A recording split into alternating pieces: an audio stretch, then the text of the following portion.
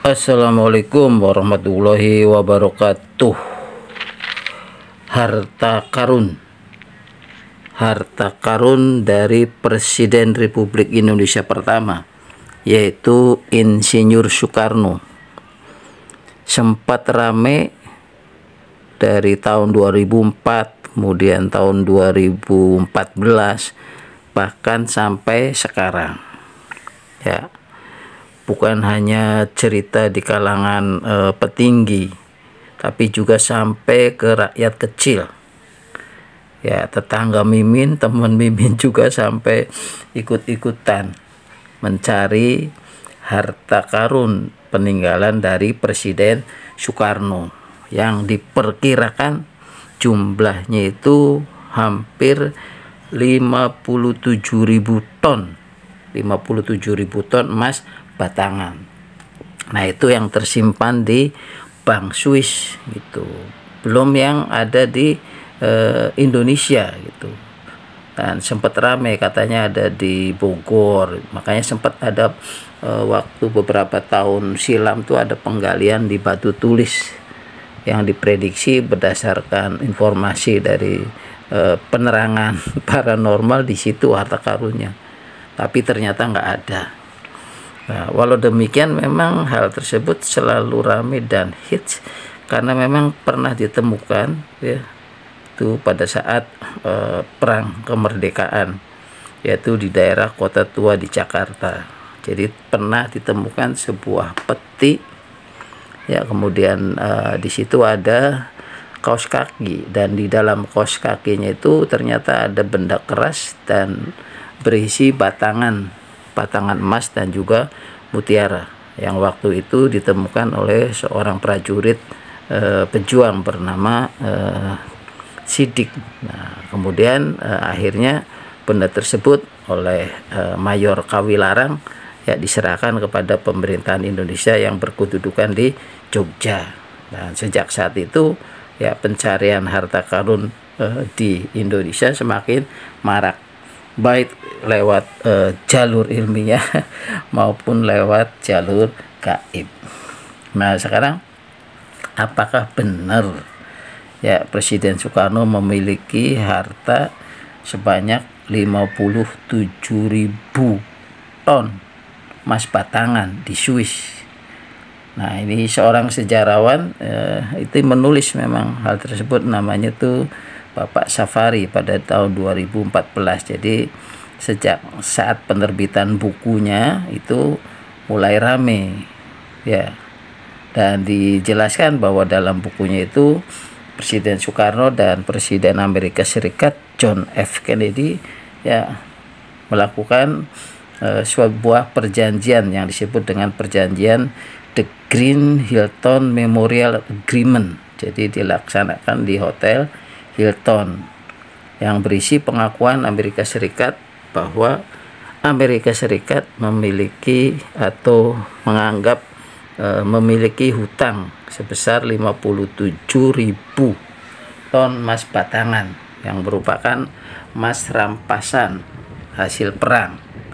Dan juga juga menurut informasi ini merupakan emas e, batangan dari Kesultanan Mataram Yogyakarta Nah, hal tersebut eh, dibantah oleh sejarawan juga yaitu eh, Arfi Warman Adam ya bahwa itu hoax, itu bohong bahwa Presiden Soekarno memiliki harta sebanyak itu. Jadi uh, konteksnya memang bukan milik Presiden Soekarno, berarti itu milik negara itu. Nah, kenapa bisa dikatakan hoax menurut uh, Arfi?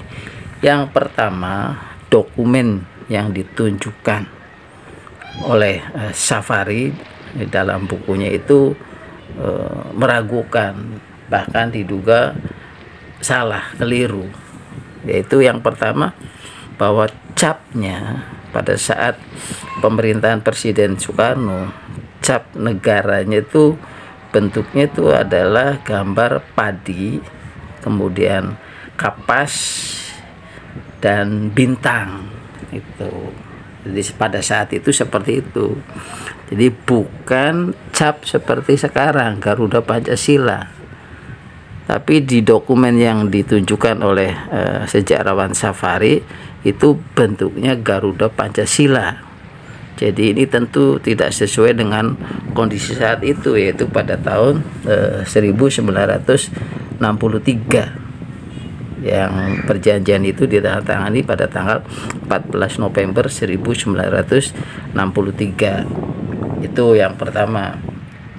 Kemudian eh, keraguan atau ketidakyakinan yang kedua itu bahwa Amerika Serikat tidak pernah menyinggung masalah perjanjian uh, The Green Hilton Memorial Agreement itu.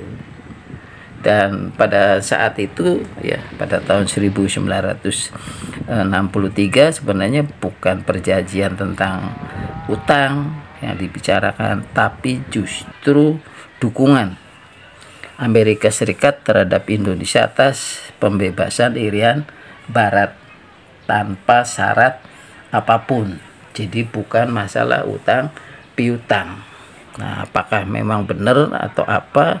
Ya, karena ya Amerika Serikat sendiri sekarang kan menguasai Freeport. Ya, itu di Irian Jaya. Apakah ada kaitannya dengan itu? Karena ya di Freeport itu bukan Tembagapura itu. Ya. Jadi harusnya judulnya itu lokasinya tuh perusahaannya itu Tembaga Pura-pura.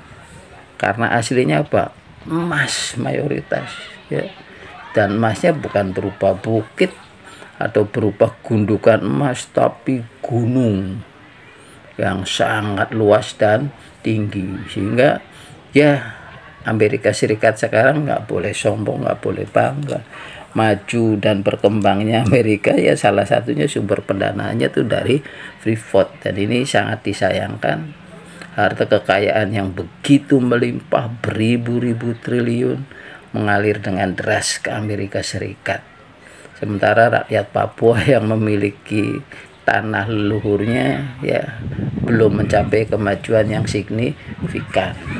Bahkan ya gubernur pejabat Papua yang ditunjuk untuk bisa membantu meningkatkan kesejahteraan masyarakatnya malah justru korupsi dan lain sebagainya. Sehingga sampai saat ini Papua masih belum baik-baik saja.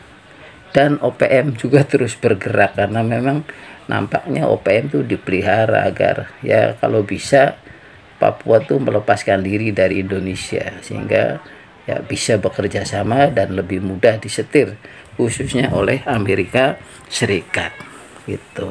Ini barangkali menjadi catatan dan juga istilahnya uh, pesan buat generasi muda ke depan agar lebih memanfaatkan alam, lebih cerdas dan lebih bijak ya agar kekayaan alam yang kita miliki sebesar-besarnya digunakan untuk kesejahteraan rakyat.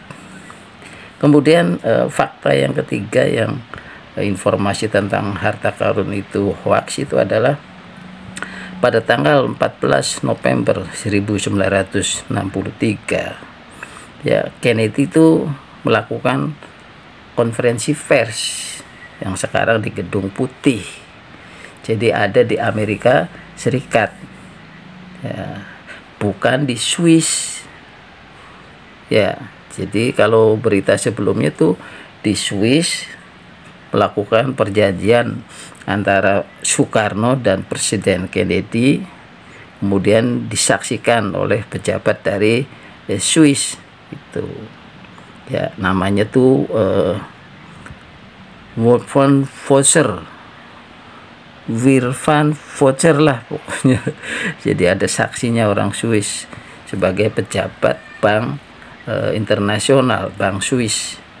Itu jadi uh, pada tanggal 14 November 1963 berdasarkan catatan sejarah Kennedy itu nggak di Swiss tapi ada di Amerika Serikat. Jadi kalau informasi bahwa Kennedy menandatangani perjanjian itu jelas keliru. Dan itulah fakta tentang harta karun ya yang 57.000 ton emas batangan ya berdasarkan uh, informasi dari sejarawan eh,